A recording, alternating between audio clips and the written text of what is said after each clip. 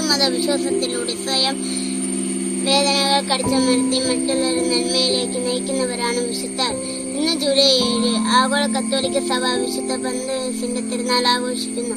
സിസിലിയിൽ ജീവിച്ചിരുന്ന സഭ പിതാവാണ് അദ്ദേഹം. ക്രിസ്ത്യാനികളുടെ ജീവിത പരിശുദ്ധിയാണ് അദ്ദേഹത്തിന്റെ മാനസാന്തരത്തിന് കാരണം. അപ്പോസ്തല ശിഷ്യന്മാരുടെ കീഴിൽ അദ്ദേഹം ബൈബിൾ പഠിച്ചു. അലക്സാണ്ട്രിയയിൽ കച്ചവടം നടത്തിയിരുന്ന ഇന്ത്യക്കാർ അദ്ദേഹത്തെ ബ്രാഹ്മണനോട് വാദപ്രതിവാദം നടത്തുന്നതിന് ക്ഷണിച്ചു. അദ്ദേഹം ഇന്ത്യയിൽ വന്നപ്പോൾ വിശുദ്ധ മത്തായിയുടെ സുവിശേഷത്തിന്റെ ഒരു ഭാഗം കൊണ്ടുവന്നു. അവിടെ ഏറെ നാൾ പഠിപ്പിച്ചതിനു ശേഷം അദ്ദേഹം മടങ്ങിപ്പോയി. അലക്സാണ്ട്രിയയിൽ അധ്യാപകനായി തുടർന്നു ഇരുന്നൂറ്റി പതിനാറിൽ അദ്ദേഹം മരിച്ചു. മതം മനുഷ്യന്റെ ഒരു ഘടകമാണ്. തെറ്റായ മതങ്ങളിലും പ്രവൃത്തികളും ഉപേക്ഷിക്കുക ബൈബിൾ മുറുകെ പിടിക്കുക. ജീവിതത്തിൽ ഒരിക്കലും നിരാശരാകുകയില്ല.